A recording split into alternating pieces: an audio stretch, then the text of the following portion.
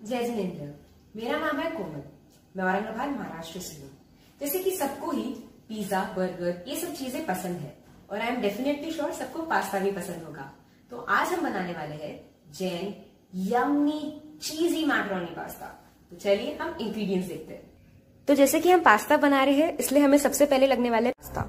तो मैंने macaroni pasta लिए है यहाँ पर। ये cheese butter capsicum corn black pepper powder milk मैदा। मैदा आ, आ, मैदा मैंने दो स्पून लिए हैं।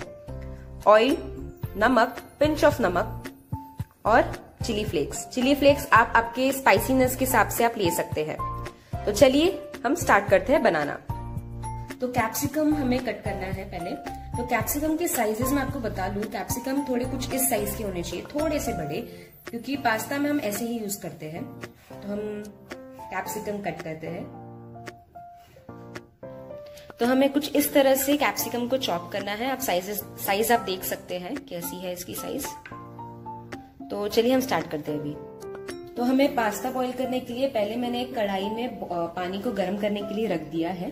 फिर इसके बाद हम इसमें डालने वाले हैं थोड़ा सा नमक और ऑयल तो मैं अभी ऑयल डाल रही हूँ।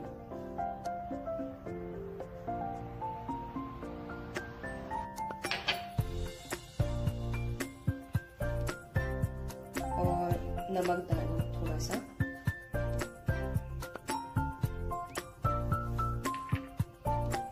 और मैंने पानी थोड़ा सा पहले ही बॉईल करने के लिए रख दिया था, इसलिए अब मैं पास्ता डाल सकती हूँ। तो एकदम धीरे धीरे पास्ता डालना, क्योंकि पानी गर्म है आपका। आप देख सकते हैं बबल्स भी आना शुरू हो गए मतलब पानी बॉईल है हमारा।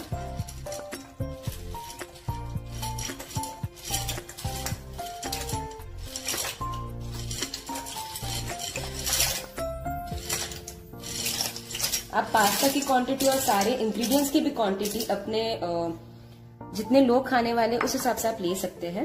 तो अभी पास्ता हमारे, हम सेवन मिनट्स के लिए पास्ता को बॉईल करने के लिए रख देते हैं।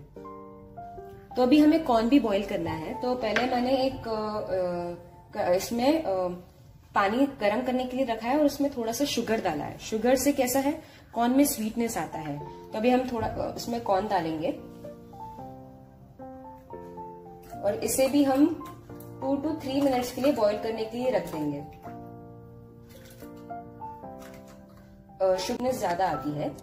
अगर कोई कॉर्न फीके रह जाते हैं तो स्वीटनेस आती है उसमें। तो हम बॉईल करने तो हम बॉईल करने के लिए रख दिया है अभी। तब अभी आप देख सकते हैं सेवन टू सिक्स मिनट्स हो गए हैं और हमारा पास्ता भी बॉईल हो चुका है। अभी हम चेक करेंगे। चेक करने के लिए हमें पास्ता को कट करना होगा। तो हम स्पून से कट करके देखते हैं।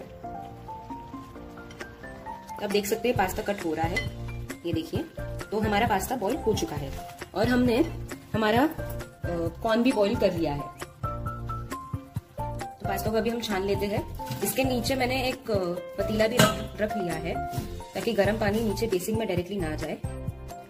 पास्ता को छान लेते हैं अभी हम।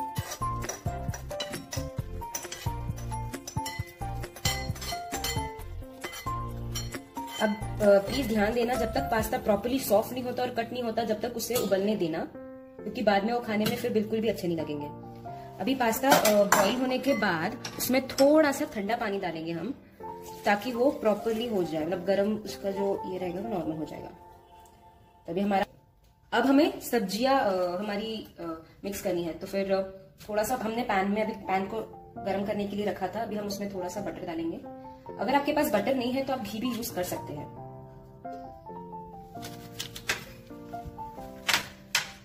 तो बटर आप देख सकते हैं।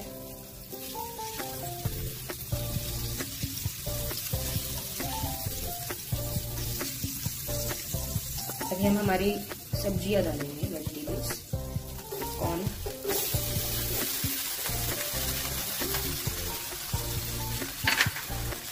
और कैप्सिकम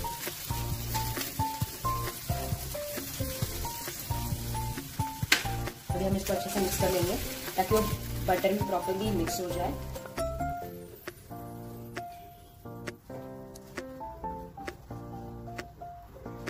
आप कोई और सब्ज़ी डालना चाहते हो, वो आपके ऊपर है डाल सकते हैं।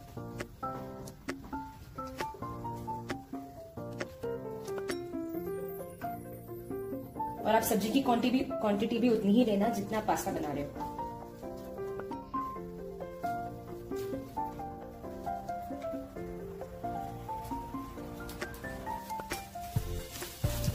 अब देख सकते हैं प्रॉपरली वो मिक्स हो चुका है बटर के साथ।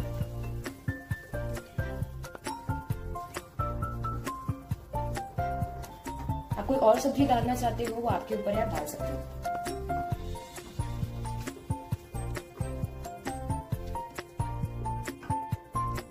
और आप सब्ज़ी की क्वांटिटी क्वांटिटी भी उतनी ही लेना जितना पास्ता बना रहे हो।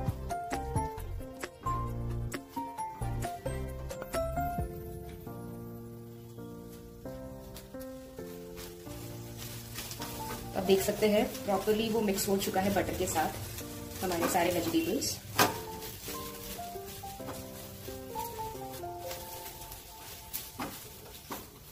अभी हम इस पैन से इसे निकाल लेते हैं।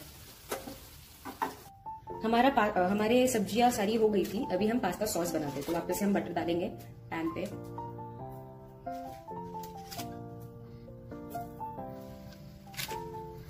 बटर पे थोड़ा हम फैब्रिक होने देंगे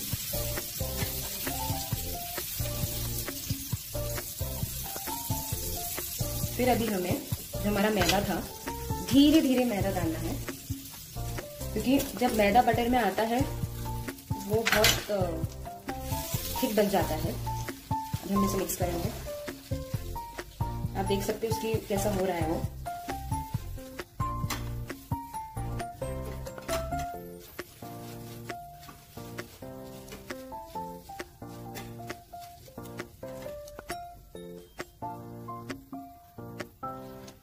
थोड़ा सा और, एकदम थोड़ा डालना।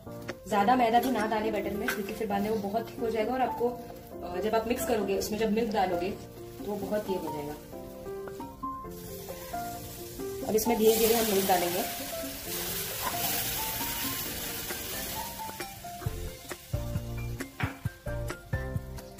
इसे अच्छे से मिक्स कर लीजिए, ताकि कोई लम्स ना रहे काट ना रहे।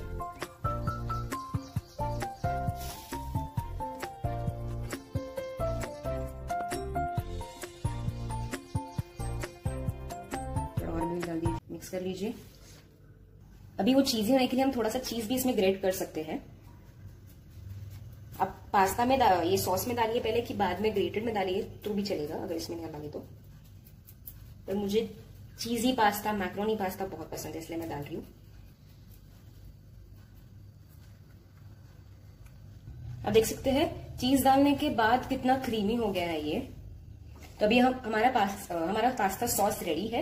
अभी हम हमारे वेजिटेबल्स और पास्ता डालेंगे तो पहले हम वेजिटेबल्स डालेंगे।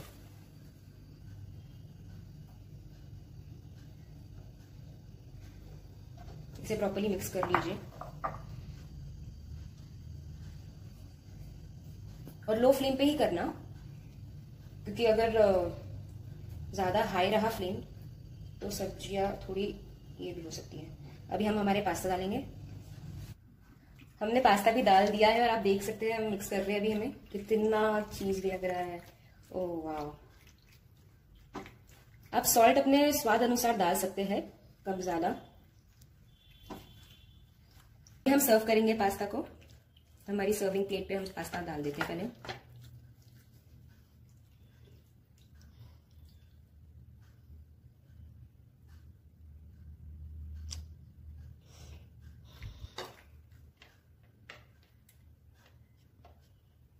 और जैसे कि सब कहते हैं कि पेट का रास्ता आँखों से होता है। तो आप बनाते तो हो, पर presentable the dish should be presentable तो डिश भी हमारी वैसी ही बननी चाहिए दिखने में। अभी हम इसमें थोड़ा सा ब्लैक पेपर पाउडर डालेंगे। एकदम थोड़ा। और चिली फ्लेक्स स्पाइसीनेस के हिसाब से।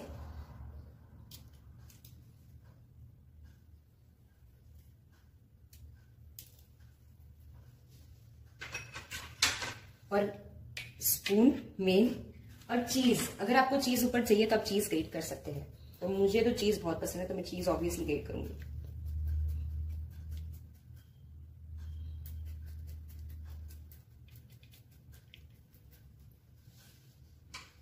तो ये रहा हमारा पास्ता। आप देख सकते हैं कितना अच्छा लग रहा है वो। ये रहा हमारा पास्ता। अगर आपको ये डिश अच्छी लगी हो तो प्लीज़ लाइक शेयर और सब्सक्राइब ज़रूर करना। Thank you